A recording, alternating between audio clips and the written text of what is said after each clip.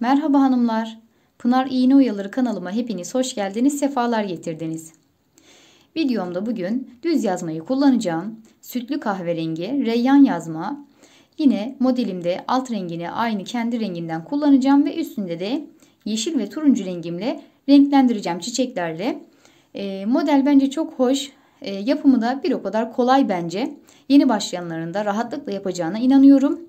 E, modelime başlıyorum. Sonucu ben de çok merak ediyorum. Evet, ilk olarak buradan ipimi düğümleyerek başlıyorum. Başlarken ipimi de mutlaka düğümün arasına gizleyip o şekilde atıyorum. Hanımlar şimdi bu modelde e, ben iki sıra zürafa daha gitmek istiyorum. Bu şekilde daha hoş duruş olacağını inanıyorum. O yüzden bu e, ilk sıra zürafam olsun.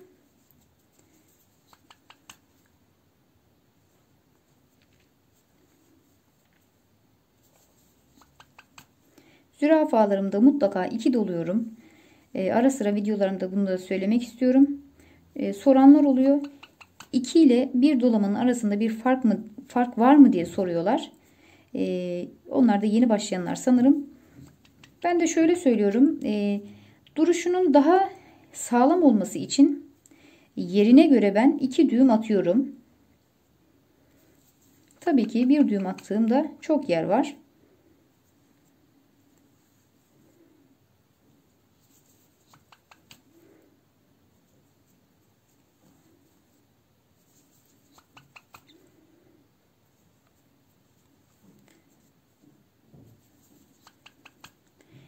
E, alt olarak e, bu zürafamı tamamlayacağım. Sonra ikinci kat zürafasını da geçeceğim. Birinci kat zürafamı bitirdim. Şimdi dediğim gibi ikinci kat zürafamı da yapacağım. Bunun için de yine ilk zürafadan ipimi düğümlüyorum.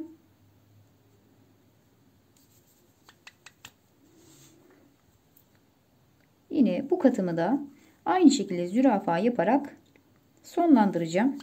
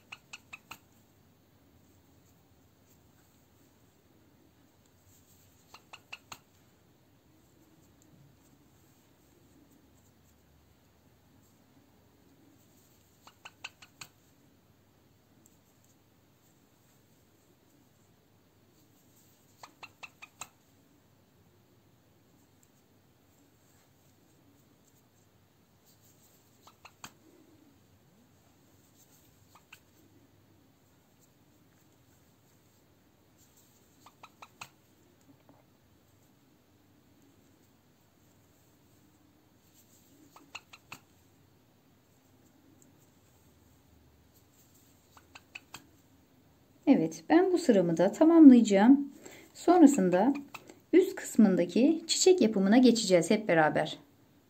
Hanımlar ben iki kat zürafa kısmını yani alt zeminimi bitirdim. Alt zeminimiz bu kadar kolay. Şimdi e, turuncu ipimi alıyorum buradan. Şuradan rastgele dördüncü zürafaya batayım ilk olarak.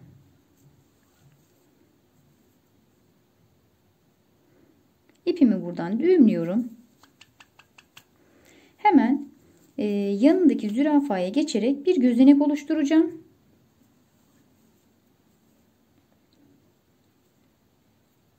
Şöyle bir yuva oluşturdum. Bu benim için yeterli olacak. Sonrasında başa kadar gelmem gerekiyor. İçerisinden girdim tekrar. Diğer iplerimi de arkadan parmaklarımda tutuyorum. Başa kadar ipimi bu şekilde getirmiş oldum. Şimdi ilk olarak burada uzunca bir pırpır yapacağım. Kısa bir pırpır değil bu. Şöyle de göstereyim. Sonrasında tepeye geliyorum tekrar.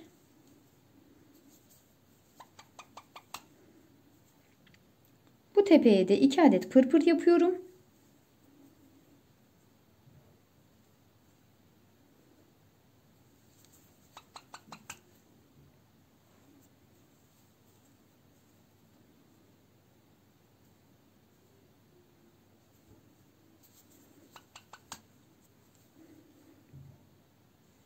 Sonrasında hemen yanına aşağıya iniyorum tekrardan.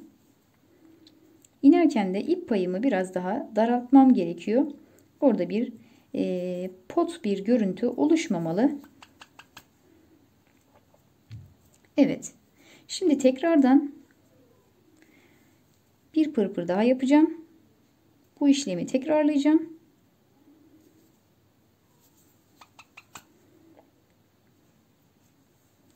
Tepeye geri geldim. Yine tepeye 2 adet pırpırımı bırakacağım.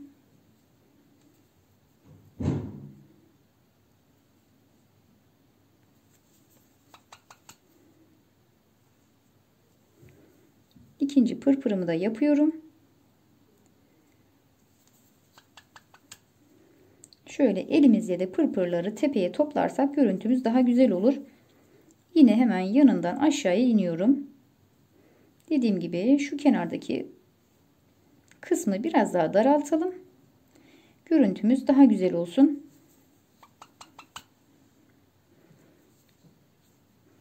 İpimle de yaptıkça geriye doğru sıkıştırıyorum ki tam doldurmak için. Şimdi üçüncü dalını yapacağım çiçeğin. Bu çiçek bu şekilde 5 tane daldan oluşacak.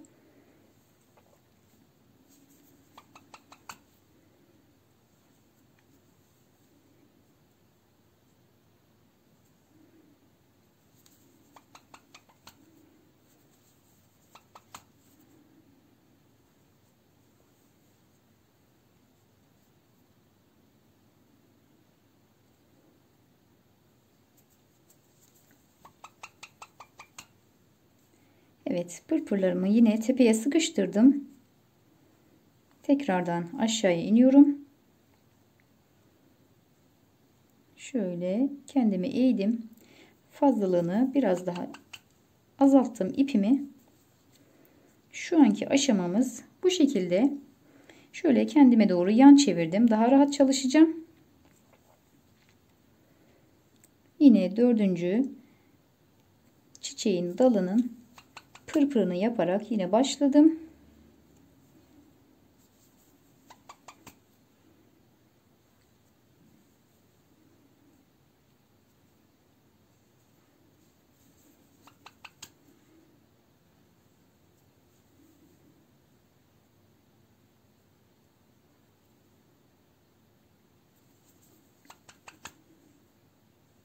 Buranın da pırpırını tamamladım.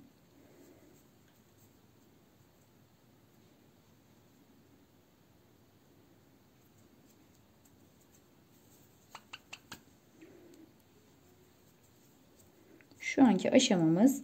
Şimdi 5. ve son çiçeğin dalını da yapıyorum.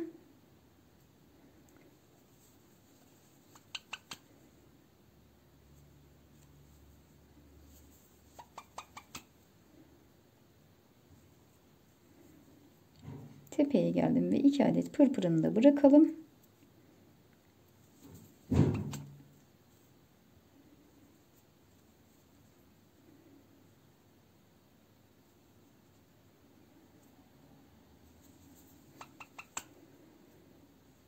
Şimdi son olarak ineceğim ve ipimi burada keseceğim.